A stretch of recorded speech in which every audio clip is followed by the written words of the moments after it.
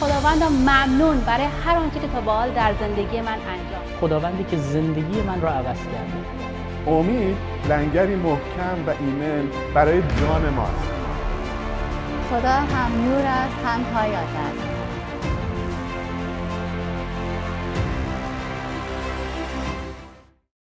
سلام دوستان من نادره هستم. با یک برنامه دیگه از خانه امید در خانه های شما عزیزان هستیم.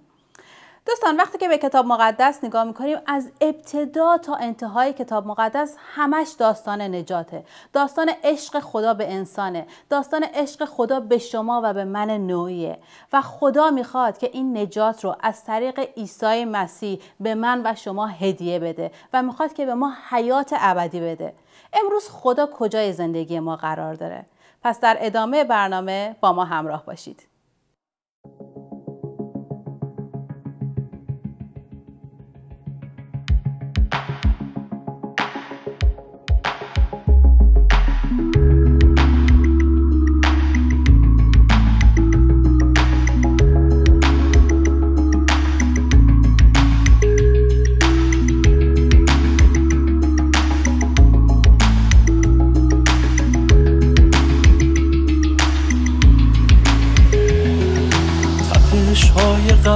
تو ریتم بودن دنیاست. آخه نیاز این دنیا توی دستای توست ایسا نفس های تو تنها دلیل بودن فرداست. پس بدم هر دم بر ما زندگی بی نفس بی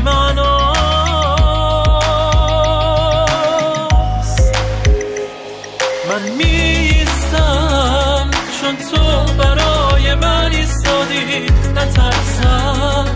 چون دائما کنارم هستی.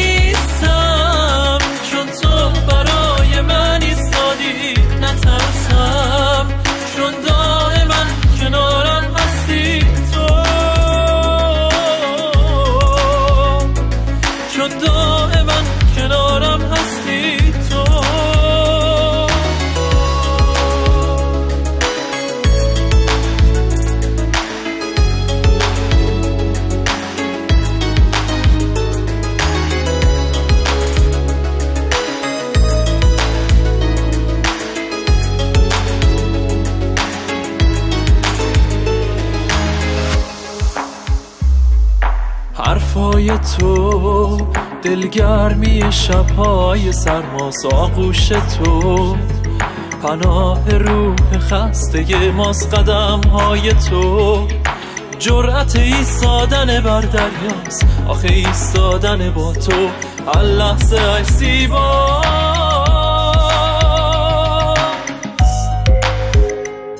من میستم چون تو برای من ایستادی.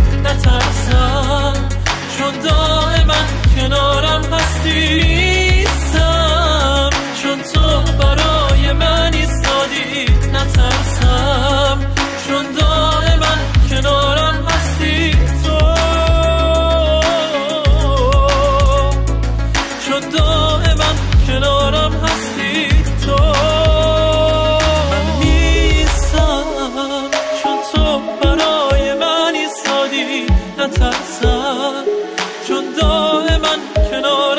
کنارم هستی چون تو برای من ایستادی نترسم. چون دائما کنارم هستی.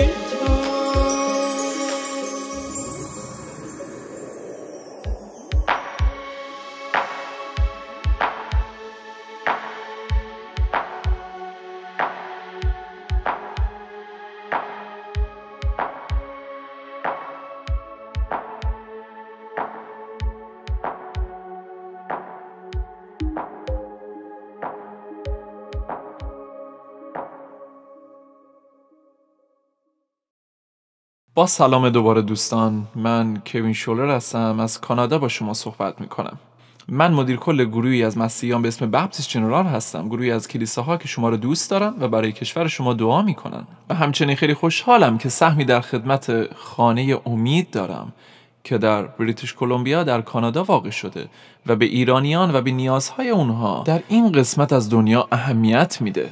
و این عالیه که در این خدمت با خانه امید سهیمیم. هفته قبل یک سری پیغام هایی رو شروع کردیم به نام جویندگان پنهان. امروز می‌خوایم در مورد نفر اول از سه جوینده پنهان با شما صحبت کنم که به مسیح عیسی ایمان آورد. شاید درست مثل شما که شاید به طور پنهانی به دنبال مسیح میگردید. خیلی ها در کشورهای اسلامی خوابها و رویاها در مورد عیسی مسیح می‌بینند و این عالیه چون که نشون میده که خدا می‌خواد شما رو به دست بیاره او شما رو صدا می‌زنه و می‌خواد که شما او رو پیروی کنید. امروز شما این فرصت رو دارید که در مورد شخصی بشنوید که شاید مثل شما به طور مخفیانه به عیسی مسیح ایمان آورد. اسم اون شخص نیقودموس بود و در انجیل یوحنا در عهد جدید در مورد این شخص می‌خونیم. نیقودموس یکی از رهبران مذهبی رتبه بالا بود. او از مقام بسیار بالایی در کشورش برخوردار بود. او پیش عیسی اومد در شب. این به ما نشون میده که او زمانی اومد که هیچ کس در اطرافش نبود و کسی نمی‌تونست اونو ببینه که اومده که عیسی رو ملاقات کنه. پس او به طور پنهان پیش عیسی اومد و می‌خواست که همه حقایق رو در مورد خدا از مسیح بشنوه. او به عیسی گفت ربای یعنی استاد می‌دانم معلمی هستی از سوی خدا زیرا هیچ کس نمی‌تواند آیات تو رو به انجام رساند. و عیسی در پاسخ با احترام به او نزدیک شد و به نیقودموس گفت نیقودموس باید از نو متولد شوی. نیقودیموس از این حرف قافلگیر شد و به عیسی گفت چگونه می‌تواند که یک شخص دوباره زاده شود؟ آیا می‌تواند دیگر بار به رحم مادرش بازگردد؟ عیسی جواب داد نه نه منظورم تولد جسمانی نیست بلکه باید تولد روحانی در تو انجام شود. چیزی رو که عیسی به نیقودیموس گفت احتیاج همه ماست که از روح زاده شویم. چون از طریق زاده شدن در روح هست که می‌تونیم به عیسی ایمان بیاریم و به او اعتماد کنیم به عنوان نجات دهنده. عیسی به نیقودیموس اینطور گفت به تو می‌گویم تا کسی از روح زاده نشود نتواند به پادشاهی خدا راه یابد. باد به هر کجا که بخواهد میوزد صدای آن را میشنوی اما نمیدانی از کجا میآید و به کجا می‌رود. چنین از هر کس نیز که از روح زاده شود. تا حالا شده توی زمینی باشید که علفای بلند داره و باد میوزه و شما می‌بینید که علفها تکون می‌خورن و باد رو احساس می‌کنید و علفها رو می‌بینید که به سوی باد متمایل میشن. همونطور روح خدا این گونه عمل می‌کنه. روح خدا در دنیا میوزه و قلب ها رو لمس می‌کنه زندگی ها رو لمس می‌کنه. او همین لحظه داره با شما صحبت می‌کنه و شما رو صدا می‌زنه. چون خدا به دنبال شما میگرده و او عیسی رو به این دنیا فرستاد. پسرش رو نجات دهنده ما تا راه و راستی و حیات باشه. برای شما تا به سوی پدر بیایید. کتاب مقدس در مورد تولد تازه صحبت می‌کنه. نه فقط در مورد نیقودیموس در این داستان.